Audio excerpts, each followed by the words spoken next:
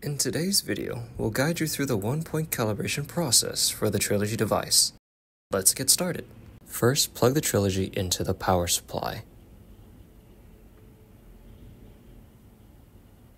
Next, turn on the instrument using the on and off button found on the back panel.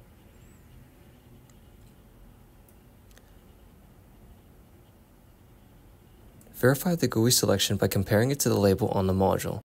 Then insert the module into the Trilogy. Press firmly until the module sits flush with the compartment.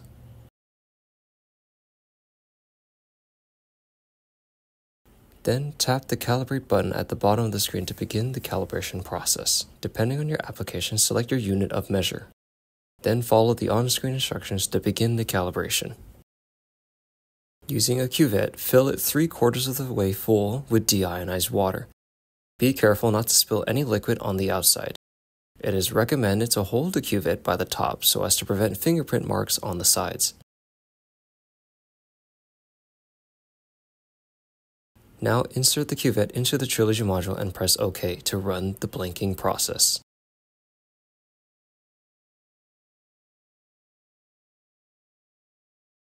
Once the blank has been measured, dump the contents of the cuvette.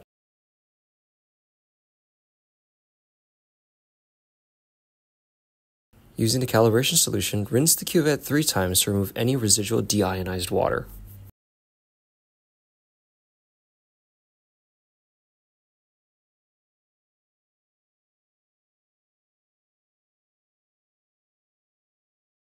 After rinsing, fill it 3 quarters of the way full with calibration solution, and then insert the cuvette back into the Trilogy module.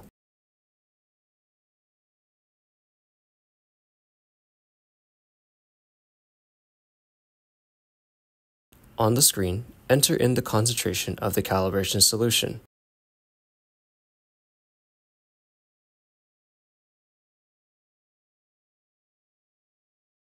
You'll now have the option to continue with more standards or proceed with the current calibration using just the one standard and blank that was measured. For our demonstration, we will proceed with the current calibration and save it. You can now name the calibration. Press save after naming and it will be stored in the Trilogy memory to be recalled anytime you use this specific module. Every module should have its own calibration record.